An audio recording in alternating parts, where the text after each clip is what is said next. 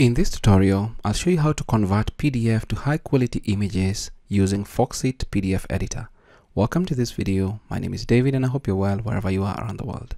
Now, I've got a PDF here and the PDF has some good images right there. As you can see, it looks good. And let's assume I want to convert each image or each PDF page into an image. Now, I'm going to go into Foxit PDF editor and then get my file right here and just drag and drop it right there. So these are my uh, PDF pages and if I can actually get it to 100% they're really really huge. So my option here is to just convert each individual page into a high quality image. So I'll just go to convert right here and then don't use export all images because it's going to look for individual images in the document, but rather go to to image and just click on the drop down, select whatever uh, image format you want. I'll go with PNG right there. And from here, you can also save whatever format you want, but go to settings.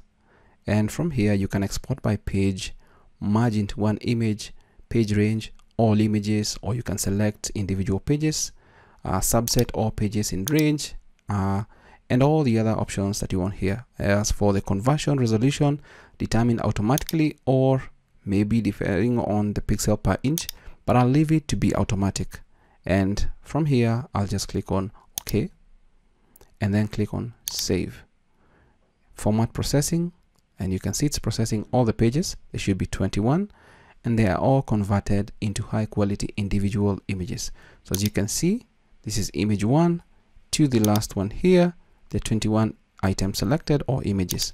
If I actually just double click on one image you can see it's in 2400 by 1350 pixels. So it's a really big image uh, that you can work with uh, and also high quality uh, for that matter. So you can see they are high quality right there. And that is how you can use Foxit PDF editor to convert PDF files to high quality images. I hope this video is of value to you. Thanks for watching.